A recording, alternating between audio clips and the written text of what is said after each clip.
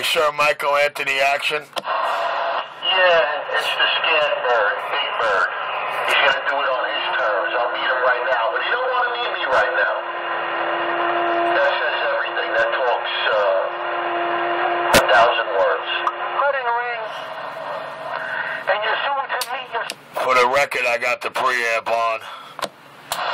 Yeah, I'll meet him right now. I'll drive right to wherever he is, right and I'll straighten this out. But he don't want to do that, and I don't blame him. He's smart. I'm gonna pull up to Caesars Bay. When you're looking at all the cars, I'm gonna listen for your whiny Jew. All right, let's see what he got without the preamp. Let's see what he got without the preamp. Hello. Set it up for Gleason's gym. I'm not interested in Gleason's gym. I'm gonna do it in a public place.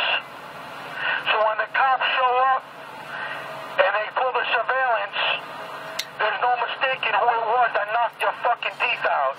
Hey, yo, Michael Anthony action. Okay. Good idea. I'll, I'll be waiting. Okay. Caesar's Bay in the summer. Okay. Hey, Michael Anthony action. Anthony can't hear you, stupid fucking pussy. Go ahead, Rich. I gotcha. Anthony.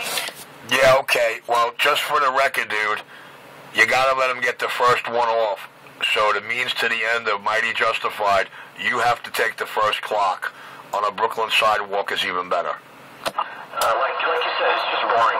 Yeah, buddies. I gotta go lock my doors. I'll catch you guys later. oh, Watch it. The Cokie birds flying through the window.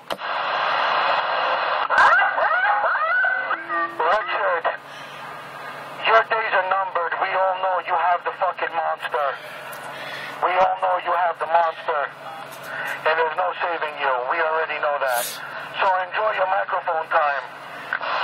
You better believe I got a monster in me. The kind of monster that's gonna walk this flesh on this globe for another 400 and somewhat change in more tattoo years. I ain't worried about anything you could conjure up or anything you could believe. Believe me, there is a monster in me, dude. but it ain't a virus.